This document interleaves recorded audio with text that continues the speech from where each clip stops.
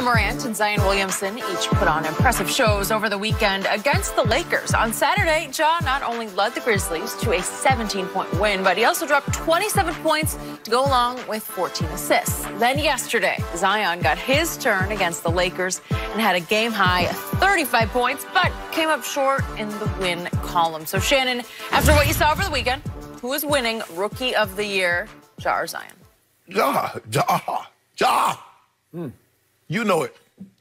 27, 14, and 6 against the Lakers. In a win. They're in the eight spot. How am I going to give this award to a man that's not going to even play 50% of the games? Patrick Ewing has the record. He was he was uh, he was a rookie of the year playing 50 games. Zion is on pace if he plays every single game from here out we'll get 37. And we're to give the guy a, a, a significant award for 37 games? If Zion, I think Zion, no, Ja has missed, I think, five games. And if he plays the rest of them, he will have had double the amount of games that Zion has played. Skip, they ain't got no, Memphis got no business in the eighth spot. Mm. He got them there. 17 and 7 on the season. If there was no rookie that was outstanding, take Zion, take Ja out of the equation. Then you might have a you might have a legitimate argument because there's really no one else. There's some guys that's having some, uh, uh I think Nunn Paschall. I mean, there's some guys that's doing okay, Skip. But Ja got this. Now, maybe we'd have a different debate if Zion had started the season playing. Maybe we have a different debate. Who knows? Maybe New Orleans is an eight spot. Who knows seventh? But right now, yeah, man, you, but yeah, but stop playing. Mm. And take that trophy up there, FedEx. Mm. That's what FedEx Hub is. Deliver that man his trophy. Mm. Ja. Mm. So I've told you from the start, I love Ja, but I love Zion a whole lot more. And he just keeps going higher and higher in my estimation because he is doing things we have never, ever seen before. He is going to be so much better and more valuable than Ja is. And to me, he's already on pace to win this year's Rookie of the Not Year happening. because this has never happened before.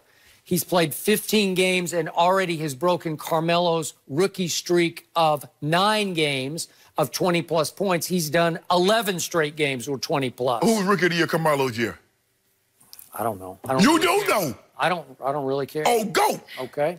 So that has absolutely nothing to do with what we're talking nothing. about. You right got to play, Skip. So, right now, Zion Williamson is averaging 24 points in 29 minutes, which is by far the highest this season. But guess what? It's the highest since 1951. Hmm. Think about that. 24 points in 29 minutes he is averaging. So he's playing low minutes, high points, and they just keep climbing up because now he's got three 30 plus games, right. including the one last night. So nobody since 1951 has averaged 24 points in 29 minutes, that few of minutes. And you're telling me that's not rookie of the year kind no, of arc? Not with 15 games. And, and Absolutely not. And, and here's what kills me about this. I'm watching the game last night, and it is driving me as crazy in a different way than it was driving you about your Lakers and the way they play.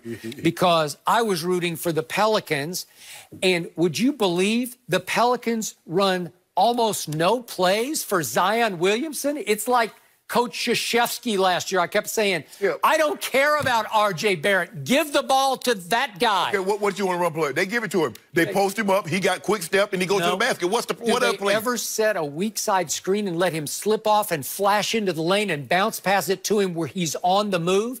No, he goes and camps occasionally, and Zo just lobs it into him into right. a congested double team. Yeah. And, and, he's supposed to just like try to operate against two guys, and he usually pulls it off. But here's the thing. Skip, he's only played 15 games, and he only started practice recently. So it's not like they okay. can run, they, they, can do everything okay. with you him. Eventually, that's coming. The biggest liability this kid has right now.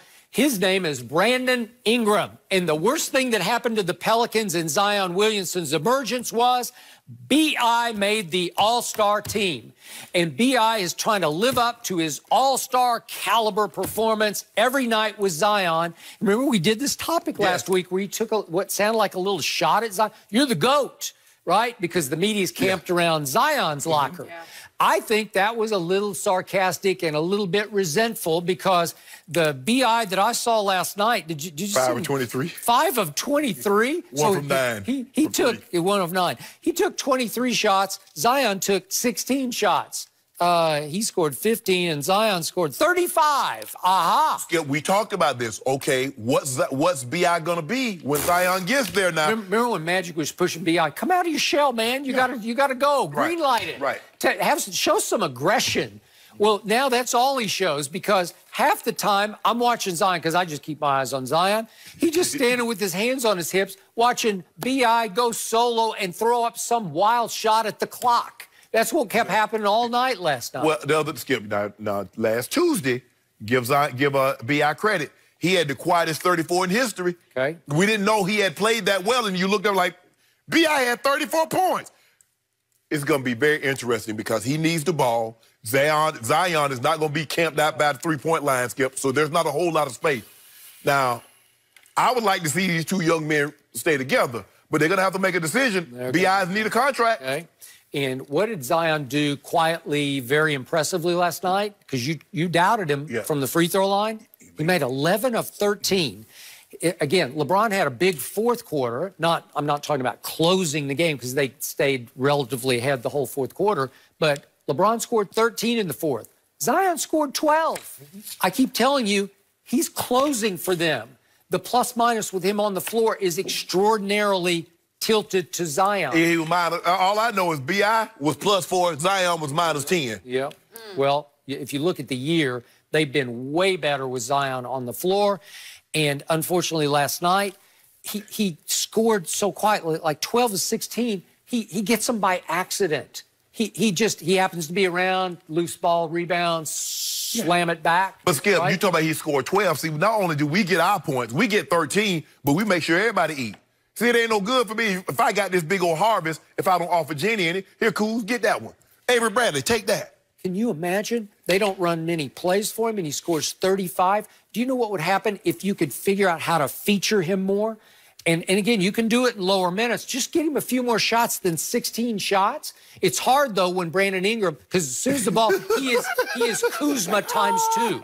If the ball touches Bi's hands, it is going up. Okay, can I trade you? Can I trade you Kyle Kuzma right now for Bi? No. okay. No, I won't do that deal. But the, the point is, Zion's doing this, trying to carry that weight around his neck. You know, like he's he's got he, he's trying to to lift up Brandon Ingram to the rim too. Well, I like Bi's game. Yeah.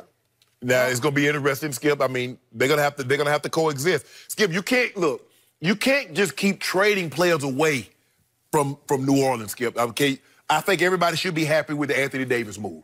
Okay. Everybody should be happy. You got Zion, you got Bi, you got Lonzo, you got. I think they're very. I love Lonzo and Lonzo in this offense.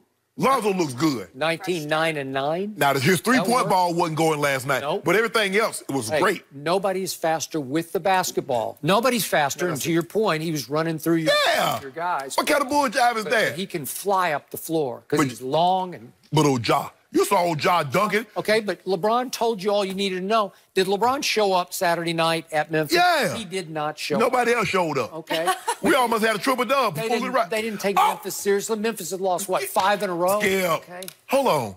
Is it Mardi Gras still going on?